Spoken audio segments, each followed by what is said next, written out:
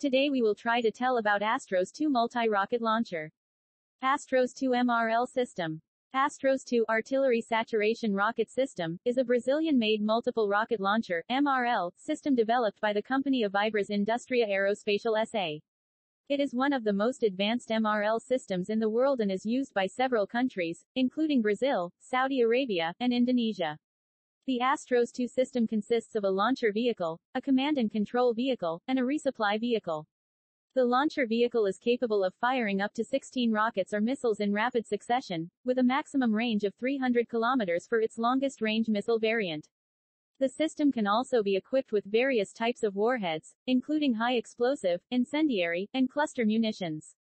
One of the key advantages of the Astros 2 system is its ability to saturate a large area with rockets in a short amount of time, providing effective fire support to ground troops.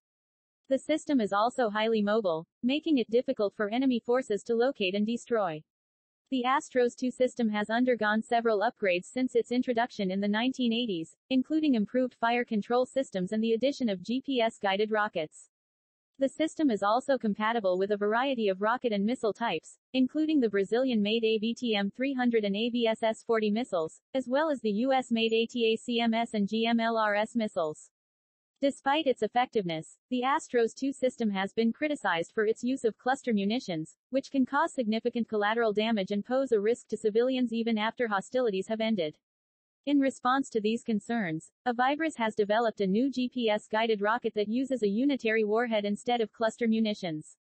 Overall, the Astros 2 system is a highly capable and versatile multiple rocket launcher system that has proven its effectiveness in a variety of combat situations. With ongoing upgrades and improvements, the system is likely to remain an important part of the arsenals of many countries for years to come. Thank you very much for being with us. Click the subscribe button next to get the best